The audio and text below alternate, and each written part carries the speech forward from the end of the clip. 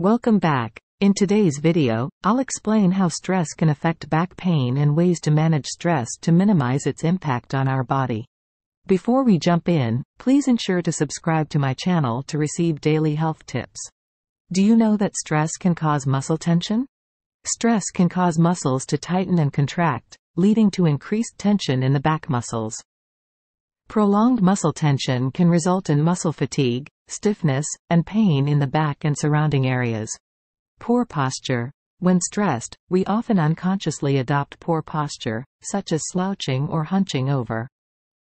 This can place added stress on the spine and its supporting structures, leading to strain and discomfort in the back.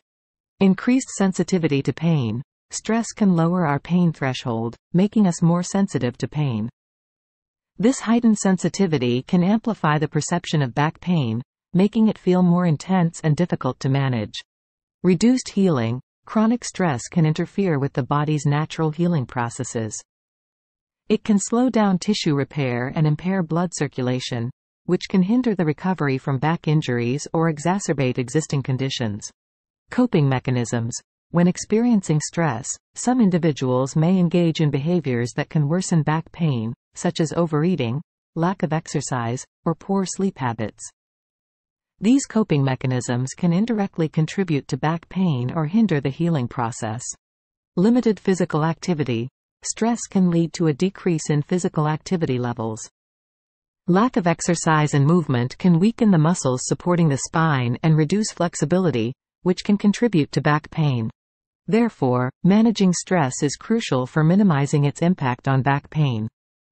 Here are some strategies to help reduce stress levels. Relaxation techniques, like deep breathing exercises, meditation, or progressive muscle relaxation to promote relaxation and alleviate muscle tension.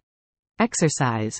Engage in regular physical activity, such as walking, swimming, or yoga, which can help reduce stress, improve mood, and strengthen the back muscles.